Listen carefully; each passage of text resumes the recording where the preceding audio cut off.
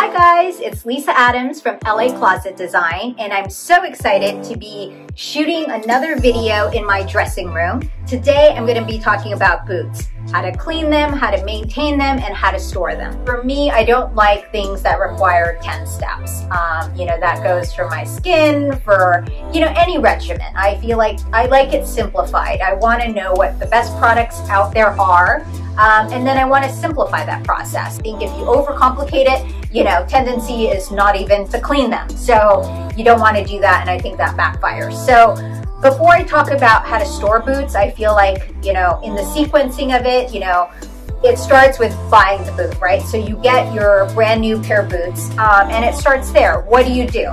So we're gonna pretend that this is a new suede boot. Um, I didn't wanna grab a black boot just because I really wanted a lighter boot to be able to show you guys, you know, how the sprays work, how it looks on the suede, and that you can really see it. So we're gonna pretend that this is a brand new boot that you just got. First thing you wanna do is use a Kiwi Suede waterproof spray. And this you can find at Target. Um, so this is this is great. You need this. This is the Scotchgard. Um, it adds, you know, a protective layer to the suede boot. And again, you want to make sure that you use, you know, you get the suede, nubuck, or the leather spray. But this one is for, for suede. Uh, make sure that you're in a space with, you know, appropriate ventilation. You've got the windows open, um, just because this is a spray. And what you wanna do, again, this is your new boot, is spray about six to eight inches away from the boot and you wanna spray it all over. So this is a waterproof spray and you, you know, pretend like it's really just adding a layer. So when it rains, you go outside, you know, the water is gonna repel against this. So this is absolutely necessary. Um, then, you know, next step, you wear your boot out. So you go outside, wear it for the day, you come back home. What do you do? So, you know, I like to get in the habit of, I keep all of my shoes and boots in the closet, in the house, so it's not going in a basement or at the entryway, really comes in. So anything that comes into the closet, I wanna make sure is clean so that it's clean on the shelves.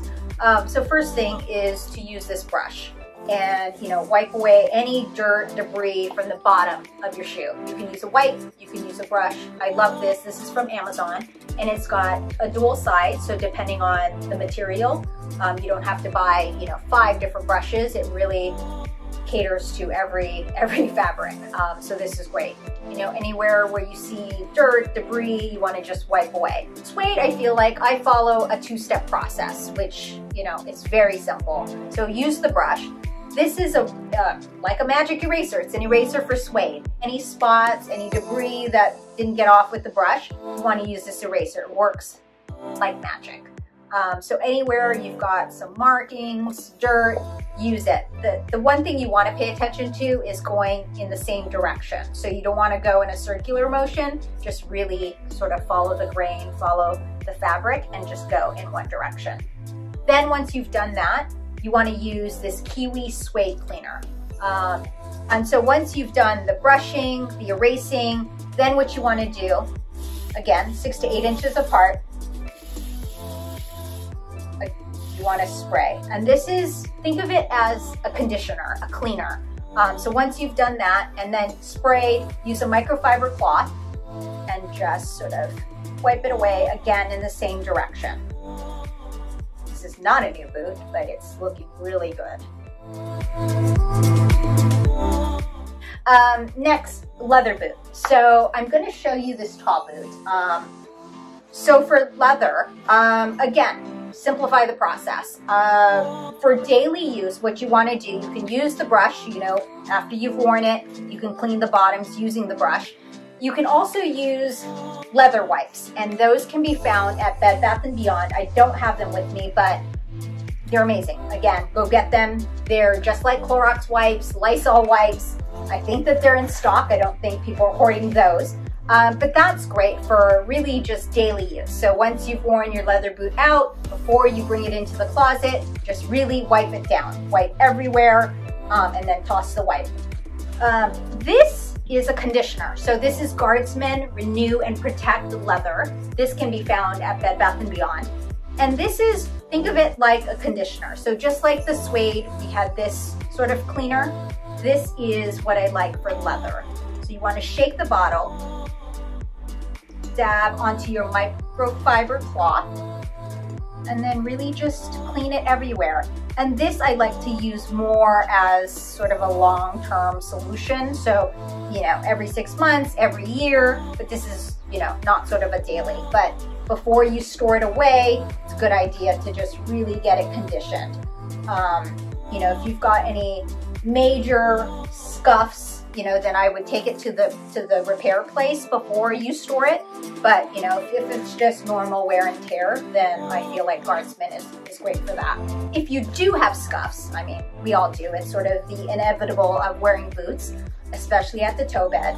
Um, I like to use this Kiwi scuff cover and it can, you know, they have for black boots, brown boots, white boots, it's great. So what you wanna do is shake. It's got this really soft, spongy material so if you've got any scuff marks at the toe bed, at the heel, shake, and then what you wanna do is just dab wherever you've got scuff marks and the liquid sort of penetrates the sponge. And you can also use this for patent leather, so, so that's great for that. Again, with patent, I like to use my patent boot as a rain boot. Um, it's It really just does a nice, nice job naturally of repelling the water. But, you know, in terms of scuffs, I would take, you know, if you've got a major scuff, take that to the shoe repair place. So we've got how to clean it, how to maintain it. Now, you know, how do you store this? So for this tall boot, um, you know, I you want to make sure that it's got its shape. So what I like to do is use a boot shaper. Um, you could use a boot tree too, but I like it to come up to shin height.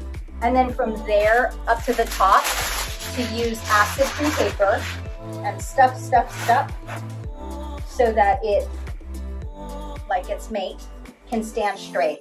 There are no creases, it's really maintaining the shape.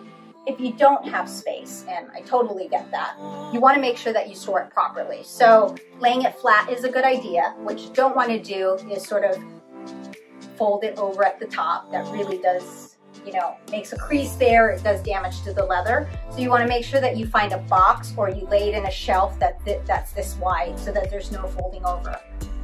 So I've got these boots as an example. Um, they're clean, they're stuffed, so it's maintaining its shape.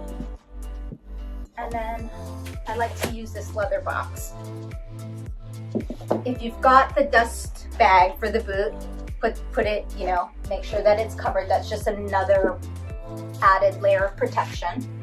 And then you wanna make sure that the boot is sitting in there. So there's no folding, it fits properly. This leather box, we sell them, laclosetdesign.com, but you don't have to get it. If you have a taller boot, you know, it doesn't fit, you wanna make sure that the most important thing is to find the box that fits the boot.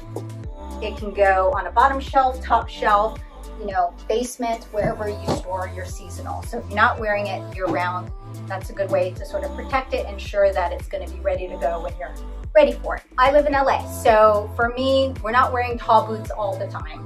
I don't have that many, so I do like to see them in my closet. And I love boot trees. It's so great for the boot, especially for this size. I feel like they're amazing. But it protects the leather, the shape, and then you can see that there's a hook here. So it hooks onto the rod I feel like it's protected. I see it, I clean it. Um, you know, the only thing would be dust. So just making sure that, you know, dust properly. But, you know, for me, it's sort of weighing the cost and, you know, benefit of seeing the boot, wearing the boot, seeing it, you know, planning outfits versus it being stored away, not seeing it and not using it. I think that's far worse for me. Thank you guys for watching. You can find all of the products at the link in the video. You can also find it on Closet File and leave a comment. I would love to hear from you guys. So if you want me to talk about something specifically, let me know. And I can't wait to see you guys next time. Bye.